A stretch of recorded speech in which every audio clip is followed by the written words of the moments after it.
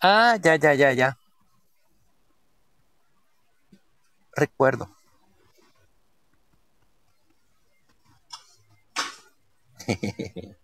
ya, la, la idea clara es esta. El poseedor tiene el ánimos y tiene el corpus. Para el poseedor, la prescripción sí opera. El poseedor eh, está sobre poder del bien, un poder físico que lo ejerce como si fuera el dueño. El detentador, por otra parte, el detentador solamente eh, es un detentador. Quiere decir que solo cuenta con el corpus, no con el ánimos. Quiere decir que para él no opera la prescripción, ¿no? Quiere decir que él está en poder del bien con autorización del verdadero propietario. Ahora, con fines de pequeñas clasificaciones o modalidades que da la doctrina, hemos visto, por ejemplo, eh, cuestiones como la posesión de hecho y la posesión de derecho. La posesión de hecho es aquella que ejerce sobre un bien, pero no sabemos si es el titular, el verdadero dueño, ¿no? Como que me vean por la calle manejando un auto. Esa es una posesión de hecho, porque no saben si el auto es mío, si es prestado, si es alquilado o, o de mi padre, qué sé yo, ¿no? Mientras que en la posesión de derecho, la posesión sirve para que tú puedas ejercitar tu derecho propietario. En este caso, si yo manejo un vehículo y muestro los papeles o el carnet de propiedad, ah, esa es una posesión de derecho porque además de estar en posesión del vehículo, resulta que él sí es el propietario del vehículo, ¿no? Entonces, esa es la figura.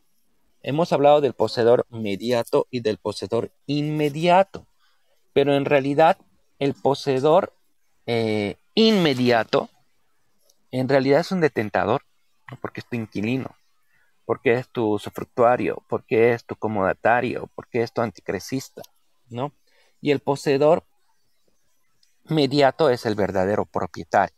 Entonces hay, hay esas modalidades, hay esa elasticidad en el, concepto, ¿no? Pero una cosa es el poseedor, eso hay que tenerlo claro cuando hablamos de posesión, poder físico que ejerce una persona sobre un determinado bien con ánimo de ser el titular de su dominio o, señorío, que tiene el ánimo si tiene el corpus, y para quien opera la prescripción. Y otro es el detentador, ¿no?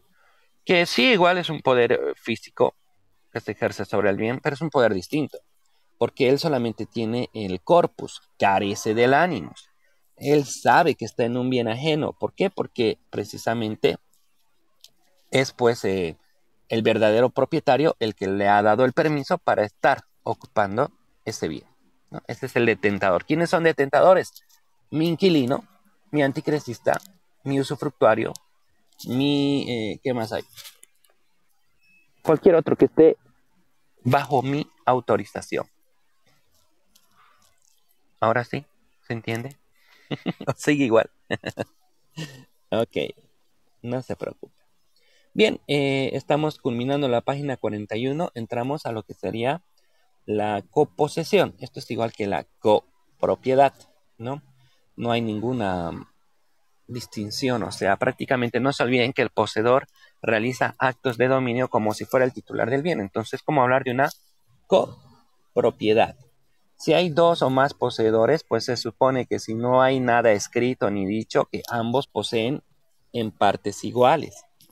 Ahora, si en realidad eh, existiese una posición, una posesión distinta en porcentajes, pues tiene que haber algún documento o algo que acredite que, por ejemplo, yo estoy en posesión del bien en un 70% y el otro está en posesión del bien en un 30%, ¿no? Si hubiese algún documento que acredita eso, pues la posesión sería de acuerdo a la, a la alícuota parte que cada uno tiene. Si no hay ningún documento, es una coposesión es en partes iguales. El fenómeno de la calidad, si es de buena fe o de mala fe, pues se juzga de forma independiente. Imagínense, por ejemplo, Cierren sus micrófonos, por favor. Yo, eh, Juan Pérez y yo vamos a comprar un terreno para construir un patio de comidas, ¿no? Yo estoy encargado de todo, el otro solamente pone el dinero. Y yo pongo una porción menor de dinero y me movilizo en todo y tengo los contactos y qué sé yo. Yo le digo a él que yo ya compré el terreno, ¿no? Entonces él está convencido de que yo he comprado el terreno para nuestro negocio. Pero yo en realidad eh, he comprado ni siquiera he comprado, lo he adquirido eh, a título de, entre comillas, compra-venta, porque no es una compra-venta.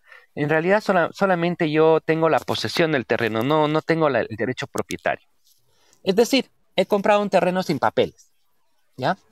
Entonces, él cree que todo está en regla, que todo está bien, entonces él sería un poseedor de buena fe, porque yo le he mostrado papeles. Pero yo que he hecho el negocio para los dos, Sé que el terreno no tenía papeles y aún así he decidido adquirir. Entonces, como somos coposeedores, quién sabe en 50 y 50 si no dice nada el documento, eh, él va a ser un poseedor de buena fe y yo voy a ser un poseedor de mala fe. Es muy difícil que estas cosas se presenten, pero de todas formas el código, eh, la norma es casuística, ¿no es cierto? Eh, contempla todos los posibles casos hipotéticos. Entonces, esa es la figura de, que, de que estamos en que él sería de buena fe y yo de mala fe. Hay hasta esa distinción. ¿Claro?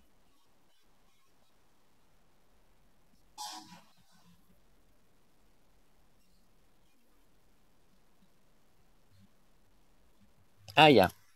Hay una figura muy interesante. Eh, esto está en el artículo. A ver, por favor, ayúdenme con el código civil. No sé si estoy hablando del 89. Código civil, si pueden leer por favor solamente el nomen juris del artículo. El nombre del artículo. ¿Qué dice ahí?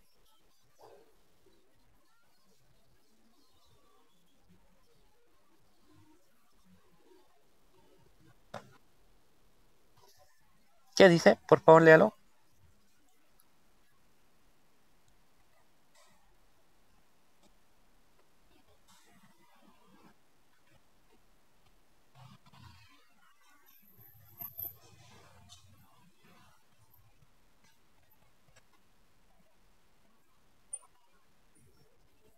Ok, comprendo.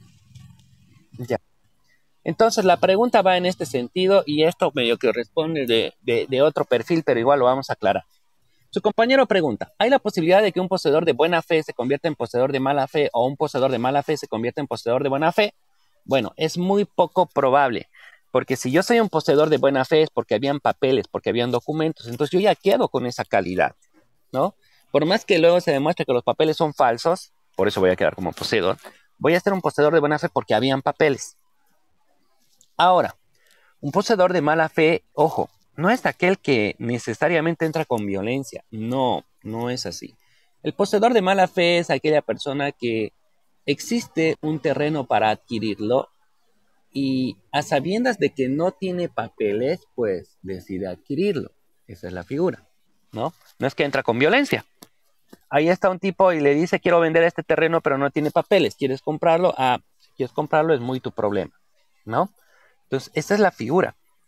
Ahora, si ellos son de mala fe porque saben que no hay papeles, si de repente aparece la otra persona que les vendió el lote y les digo, ah, he tramitado los papeles, los he obtenido, se supone que van a ser papeles idóneos y que vas a hacer un documento normal de transferencia y no podrías, no tendrías la necesidad de cambiarte de poseedor de mala fe a poseedor de buena fe. Directamente harías pues el trámite de cambio de nombre y, no serías ya ni poseedor, serías propietario. Entonces, es muy difícil cambiar tu forma de, tu clase de posesión que tienes. No puedes cambiar de buena fe al de mala fe porque habían documentos. Y no podrías cambiar de mala fe a buena fe porque se supone que si hay documentos, si los han obtenido recién, pues vas a regularizar una compra-venta directa y vas a hacer el cambio de nombre y vas a ser propietario. ¿Se entiende, no? Ahora, la otra figura. Eh, si yo soy detentador, ¿me puedo convertir en poseedor? Esto es lo que ustedes tienen que tener claro. O sea, ¿cómo es el punto? Ejemplo, eh, yo vivo eh, en una casa en alquiler desde el año 2001, ¿ya? Desde el año 2001. Ahora, resulta que eh, ese contrato lo hemos firmado por dos años y de ahí podríamos ampliarlo por dos años más. Yo he seguido viviendo en la casa. El contrato ya ha terminado, el escrito que hemos realizado, ¿no es cierto? Porque tendría que terminar, estoy desde el 2001 al 2005 terminaba. Pero hasta el día de hoy yo sigo pagando un alquiler, un canon, y eh, sigo viviendo ahí en la casa. ¿Cuántos años son desde el 2001? Y eso, ya digamos que acabó el 2005 porque decía el contrato escrito hasta la fecha, son 15 años que estoy viviendo ahí. Entonces, yo que soy detentador, vivo en alquiler, con un contrato que se terminó el 2005, pero sigo pagando, sigo viviendo, ¿podría ser la usucapión del bien? ¿Qué dicen?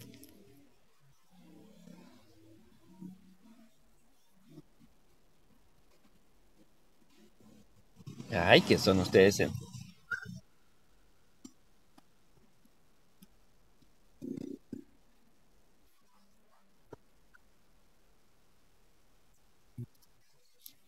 Pues sí.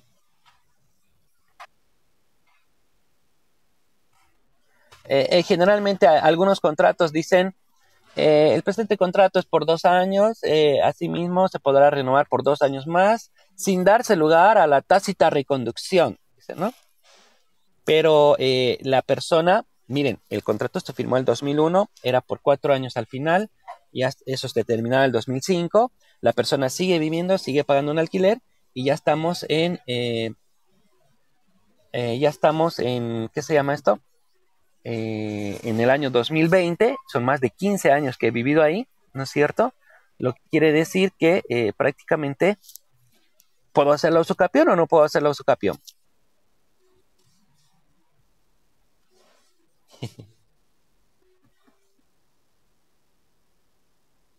Ya su compañera dice que no.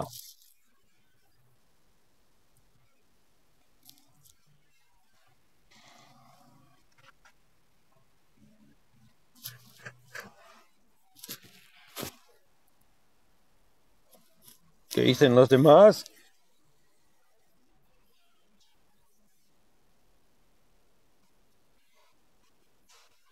Claro que sí, por supuesto.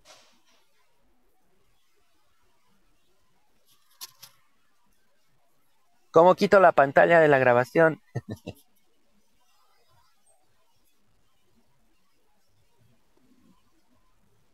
Bien, los demás no van a decir nada.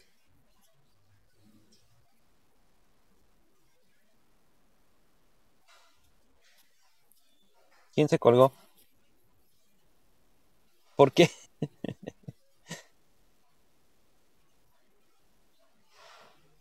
Ah, pero siguen viendo mi, mi celular, ¿no? Mi pantalla.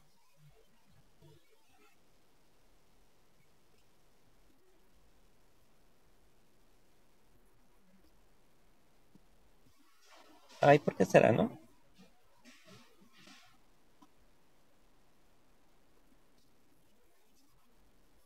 Ya no me da la, no me da la opción de nada ya. Ya, no importa. La clase continúa. Bien, respuesta. Ah, ya, ya los veo ya. No sé qué hice, pero ya los veo.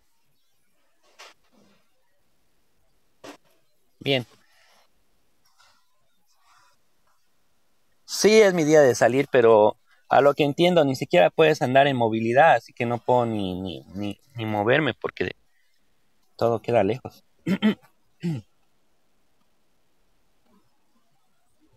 Estoy en el auto porque pasa el aire. Ya. La respuesta. La respuesta sería la siguiente. Mm, no importa los años que yo viva, puedo vivir 5, 10, 15, 20, 30, 40, 50, 80 años en la casa como inquilino. Yo jamás voy a poder cambiar mi condición de detentador a poseedor, por regla general. La excepción está en si yo adquiero el bien que estaba agarrando en alquiler. No sé, por ejemplo, puede que eh, se han dado casos, son sí algo escasos, pero se han dado casos Puede que yo viva en una casa en alquiler. El alquiler que pago ya, digamos que son 400 dólares. La dueña de la casa es una persona mayor, es una anciana, ¿no? Y que no tiene familia. A veces estas personas, por no quedarse solas o se acostumbran a uno, ¿no es cierto? Pues puede que la señora me diga, ¿sabe qué, joven? Este, yo voy a vender la casa, pero no, no quiero que usted se vaya. Se la voy a vender a usted, vamos a hacer un documento y eso que me paga ahora como alquiler va a ser eh, a título de compraventa, va a ser el pago parcial porque me la va a pagar mensual por cinco años, por decir algo, ¿no? Entonces, yo inquilino al momento de firmar ese documento, ¿no es cierto? Eh, me estoy convirtiendo ya no en un inquilino, ya no soy un detentador, yo estoy comprando la casa. Por lo tanto, ahora me estoy convirtiendo en un poseedor, ¿no? Entonces, ese sería uno de los pocos casos en que el detentador podría cambiar su condición a poseedor. ¿Se entiende? Esto es lo que eh, explicando el artículo 89 que acaba de leer su compañero. Ok.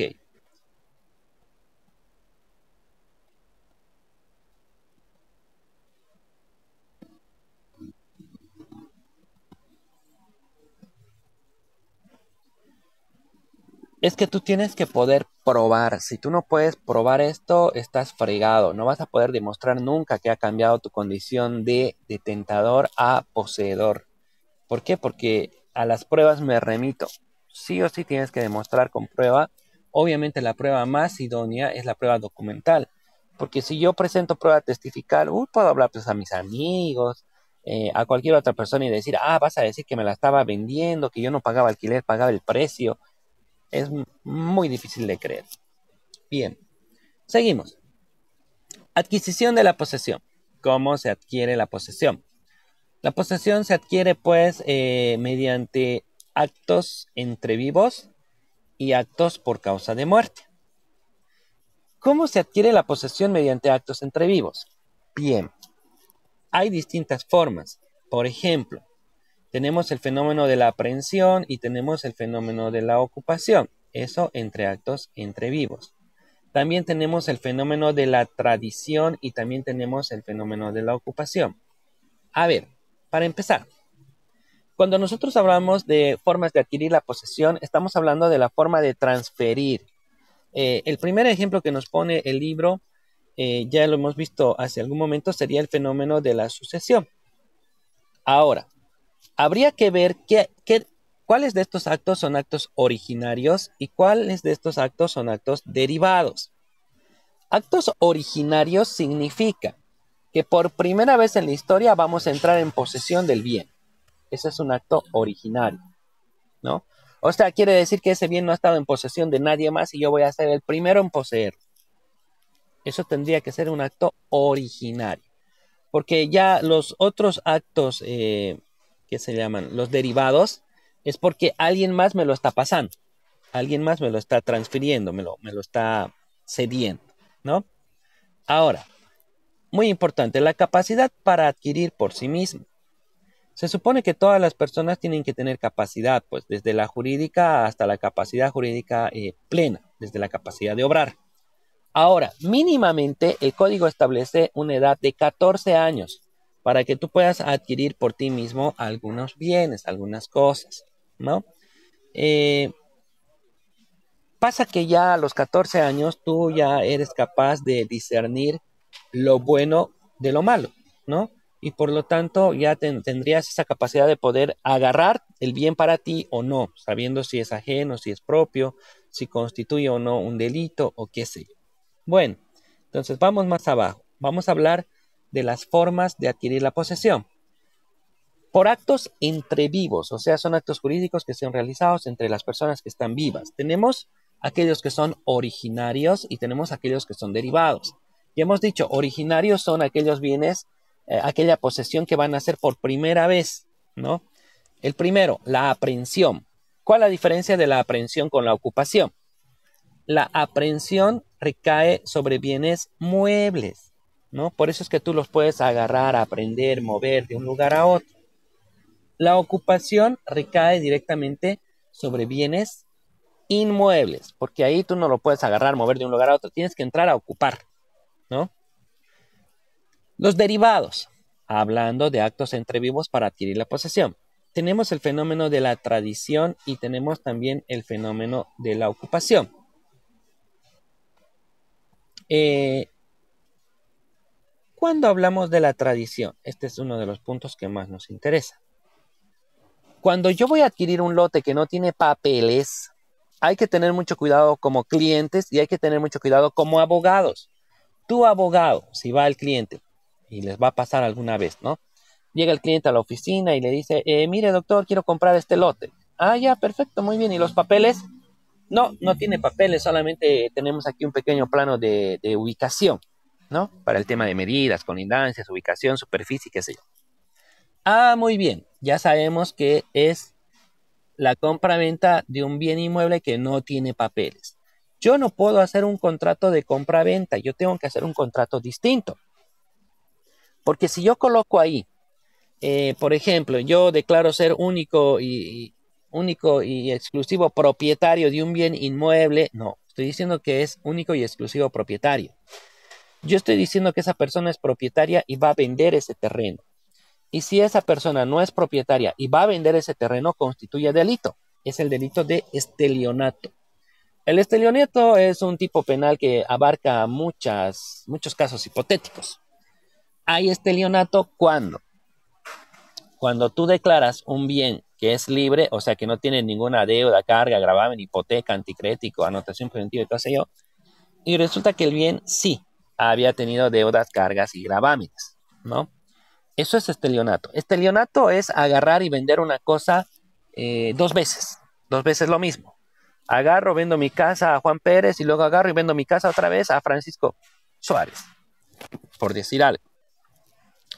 Estelionato también es vender bienes que no son tuyos. O sea, voy a agarrar y voy a vender un bien que no es de mi propiedad. Y ese sería el caso que estaríamos por, eh, por cometer, ¿no? Como viene el cliente, va a vender un lote que no tiene papeles, solo plano de uso de suelo. Si tú le pones ahí compra-venta, es delito. Si tú le pones ahí declaro ser único y exclusivo propietario, es delito, ¿no? ¿Y por qué es delito? Porque él no tiene el derecho propietario consolidado. ¿Ok? ¿Qué tendríamos que colocar? Un contrato distinto. Un contrato que tendría que llamarse algo así como documento privado de tradición o cesión de posesión. Es casi, es, es una compraventa, porque se va a entregar el terreno y porque se va a pagar una suma de dinero. Pero en realidad lo que estás cediendo es la posesión del terreno. Por eso es que tú no puedes hacer compraventa. Tú lo que tienes que hacer es cesión de posesión. A eso se llama la tradición, que en latín es la traditio. ¿De dónde viene esto de la tradición? Se supone que eh, antiguamente eh, pues eh, tenías que denotar la entrega de, bienes. No sé si se acuerdan, hemos visto el res mancipatio y el res nec mancipatio. El res mancipatio hablaba de bienes que tenían un gran valor económico suntuoso. Ahí sí se daban verdaderas transferencias, o sea, se, se transfería la propiedad. Y teníamos el res nec mancipatio, que eran bienes de menor valor económico, los cuales eran eh, enajenados eh, no en, eh, en, transferencia de compra-venta, sino solamente cedidos a título de tradición. ¿Qué es la tradición? La tradición es la entrega de la cosa o del bien, ¿no? Por ejemplo, si la tradición es la entrega de la cosa o el bien, si yo voy a entregar un vehículo, ¿cómo denoto la tradición? ¿Mediante qué acto?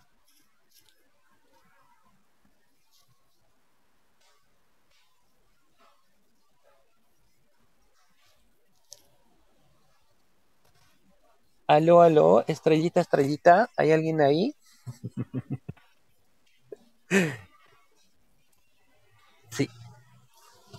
Oh, perfectamente la escuchamos. Entonces, les repito, si la tradición consiste en la entrega del bien, si yo voy a regalar un auto, ¿cómo haría denotar la entrega del vehículo? ¿Cómo? ¿Mediante qué acto? ¿Cómo se daría la tradición? La traditio. Ya, pero para que vean los demás, ¿qué? Voy a agarrar el vehículo, le voy a poner un moño ahí, ¿no es cierto? Una tarjeta, lo voy a estacionar ahí afuera de la, de la Universidad NUR y le voy a colocar con mucho cariño y aprecio a mi gran amigo del alma, eh, Francisco Pérez, por decir algo, ¿no? Entonces él va a salir y yo le voy a sacudir las llaves le voy a decir, este es tu nuevo vehículo. Ahí está la tradición, el acto de la entrega del bien. Si vamos a hacer nosotros la tradición de, de, una casa, de un departamento, lo propio, pues, el tema de sacudir las llavecitas, entregar las llavecitas, ¿y esto qué es? Ah, son las llaves de tu nuevo departamento, ¿no? Esa es la tradición o la entrega del bien. Entonces, aquí se presentaba un problema. ¿Cómo denotabas la tradición de un lote de terreno eh, rústico, de un lote que no tiene barda, que no tiene puerta, que no tiene llave? ¿Cómo denotas ante lo demás que tú estás vendiendo y entregando la tradición de este bien a otra persona?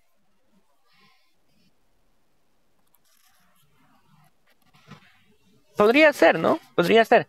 Pero, eh, ah, miren, les doy un dato. Un presidente lo hizo, el presidente Mesa lo hizo al poco tiempo de asumir el poder en ese cambio de gobierno que hubo. Y hasta salió en una fotografía y todo. Y, era curioso, pues yo les comento, salió en el deber, en la razón. Eh, ahí está el presidente de la CB y Carlos Mesa. Y se están revolcando en la tierra en el polvo y ahí ¡tum! sacan la fotografía, ¿no? Entonces, y el titular era más curioso todavía porque el titular decía, presidente Mesa realiza la entrega de tierras eh, mediante acto ritual andino, decía, ¿no? ¿Qué acto ritual andino? No tenía nada de andino, eso era derecho romano puro, ¿no? Era el acto de la traditio, la entrega del bien. En esos casos donde no hay puertas, donde no hay murallas, donde no hay llaves que entregar, Bastará, dice, entrar, entrar al lote de terreno, dar un pequeño zapateo o un revolcón, ¿no? Y ahí está el presidente revolcándose en la tierra. ¿Qué era eso? La traditio. Entonces, la posesión no se vende, pero sí se enajena, sí se transfiere. ¿Cómo se vende? Oh, perdón, ¿cómo se transfiere? No mediante un documento de compra-venta, sino mediante un contrato, un documento de tradición, de cesión de la posesión. ¿Y por qué hago tanto énfasis en esto de la tradición? Nos estamos llevando la mitad de la clase casi en eso. ¿Cuál es la importancia de la tradición? la importancia de la tradición es la siguiente. Digamos, ah, Matilde tiene un terreno que lo posee hace ocho años atrás, sin papeles. Ella lo pone a, la venta. Obviamente no va a ser pues el verdadero valor comercial porque no tiene papeles, va a valer menos, ¿no? Y yo lo quiero comprar. Entonces, si hacemos, si yo adquiero el bien, si yo adquiero la posesión mediante este documento, voy a adquirir para mí la posesión, el terreno y los ocho años que ella tenía sobre el bien. Es decir, que yo tendría que estar dos años más en posesión, dos años y un día, para poder iniciar el proceso de usucapión. El efecto de la tradición es que pasa se traspasa, se hereda, no, no se hereda, se recibe también los años en posesión que tenía la persona. ¿Se entiende?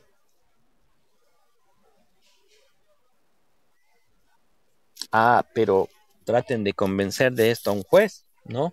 Porque yo tengo inversionistas, tengo inversionistas eh, de clientes que me dicen, por ejemplo, tengo un cliente que me dice, me vas a avisar pues de algún terreno ahí por el centro o dentro del cuarto anillo que esté así medio una casita normal y quién sabe no tiene ni papeles para que yo lo compre, yo lo voy a comprar, lo voy a regularizar y voy a adquirir pues el derecho propietario por un lado y por otro lado eh, lo voy a vender, ¿no? Entonces, se supone que con esta medida de la tradición, con este instituto de la tradición, mi cliente podría comprar un terreno sin papeles y luego podría hacer el proceso de uso capión porque él tiene la plata y luego podría venderlo, ¿no? Pero es complicado, las personas son muy cerradas, los abogados no leen, los jueces que son abogados no se instruyen, porque según el juez entiende que la persona que presenta la demanda tiene que haber vivido ahí más de 10 años y no es así. Porque una de las formas de adquirir la posesión es la traditio. Yo tendría que demostrar que la otra persona ya vivía más de 10 años o si vivía 8, 7 años, y mi cliente que ha adquirido ya vive más de 3 años ahí, o sea, ya hemos completado los más de 10 y el proceso tiene que ir. Tiene que ir. Hay una, por eso les digo, no sé qué pasa en nuestro país. Hay una falta de, preparación increíble. Eh, miren, a título de, anécdota, yo siempre que hago un proceso judicial, siempre le charlo al juez, le charlo, le charlo, le charlo de cualquier tontería, pero de mi caso también, ¿no? Teníamos un caso de usucapión y le digo a la juez, terminó nuestra, una de las audiencias, declararon los testigos, con el antiguo código era. Y le digo a la juez, mujer era, oiga doctora, le digo, eh, disculpe, ¿cómo lo ve mi proceso? Le digo, ¿no? Ya, todos habían salido. Y me dice, ay, no sé, doctor. no sé por qué, eh, mire, si usted revisa los medidores de energía eléctrica y agua potable, no están a nombre de su cliente. Y yo, con todo respeto, ¿no? No vayan a pensar que uno ahí se, hoy que yo soy docente, que trabajo en cuatro o cinco universidades, que tengo... No, nada de eso, siempre perfil bajo, ¿no? Entonces, le digo, doctorita, pero disculpe usted, ¿y, eso qué tiene que ver? Lo que usted me dice, doctora, no, no le veo razón de ser. ¿Por qué? ¿Por qué, chicos? ¿Por qué? La doctora me dice que los medidores de energía eléctrica y agua potable no están a nombre de mi cliente y por lo tanto el proceso de usucapión está medio que en riesgo.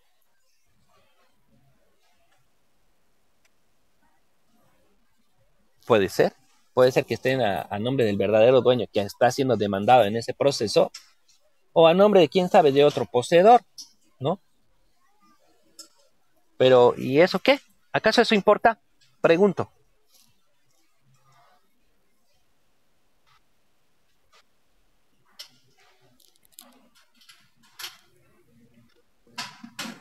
Les comento que no importa.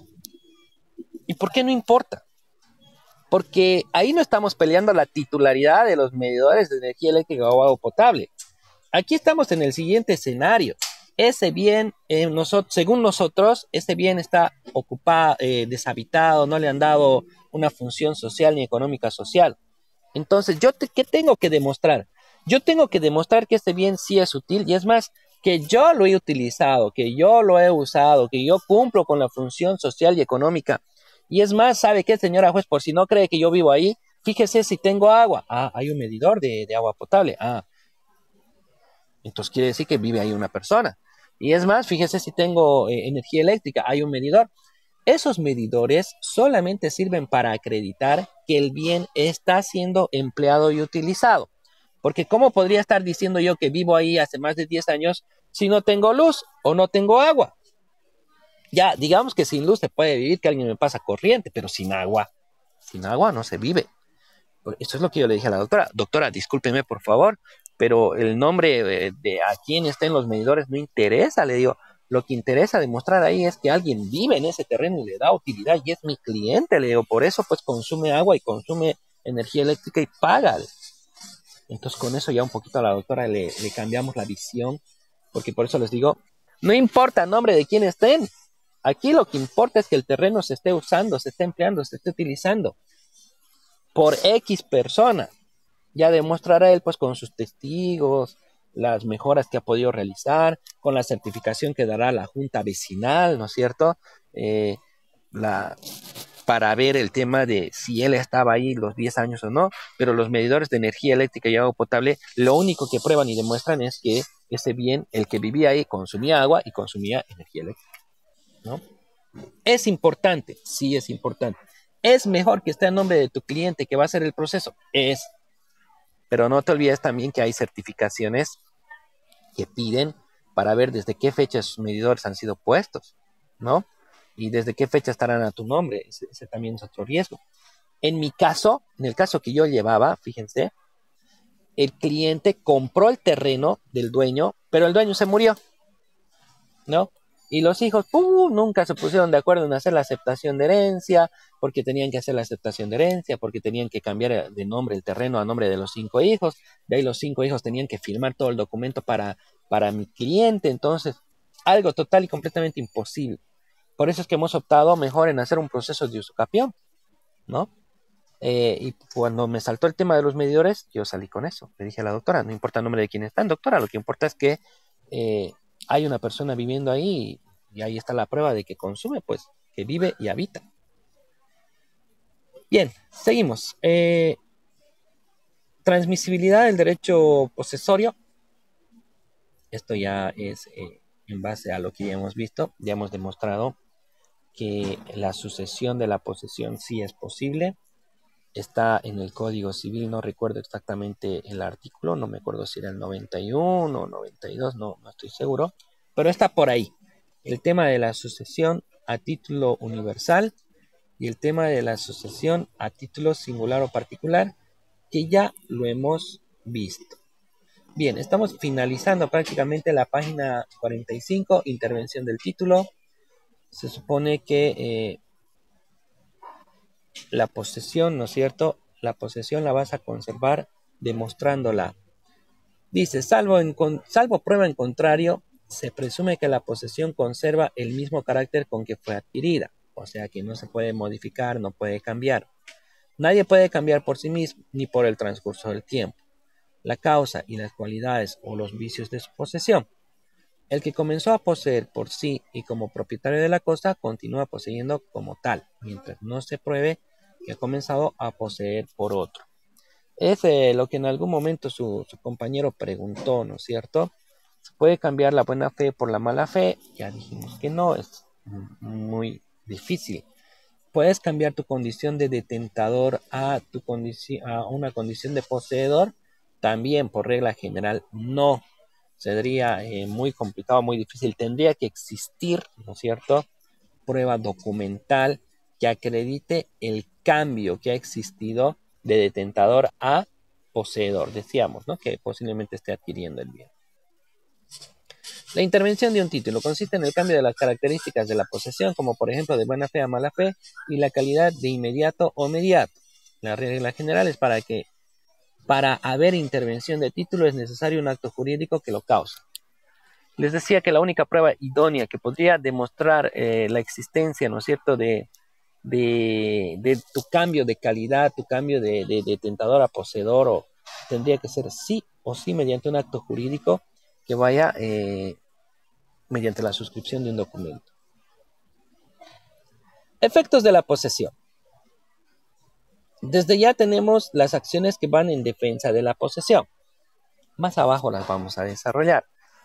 En eh, la anterior clase vimos medios y mecanismos que van en defensa de la de los derechos reales.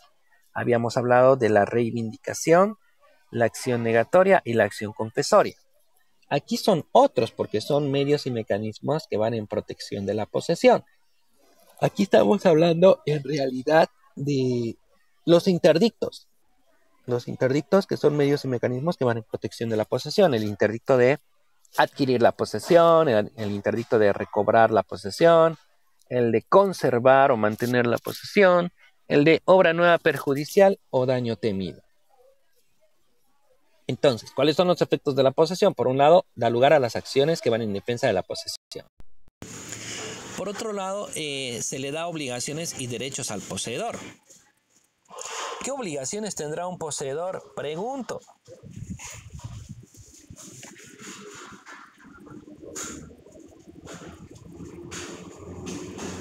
Ideas.